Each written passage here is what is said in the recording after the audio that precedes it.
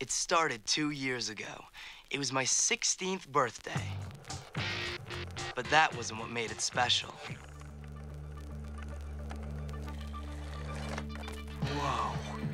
Check it out. Greetings. Because of your extraordinary abilities, you have been chosen to take part in the world race.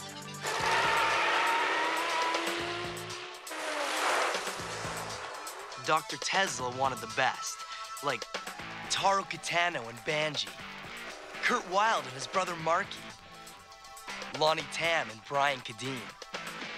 And I was one of them. Me, Vert Wheeler. Whoa, check it out! It was unreal. And then it got really unreal.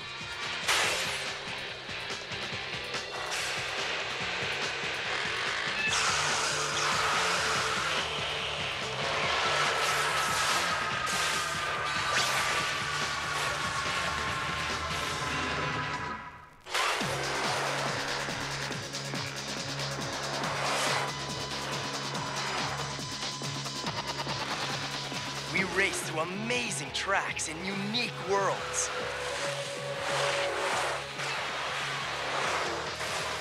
I was the fastest driver in the world, the winner of the world race. I found the wheel of power. And when the racing drones tried to take the wheel, Wheel of power. I helped put it back where it was meant to be.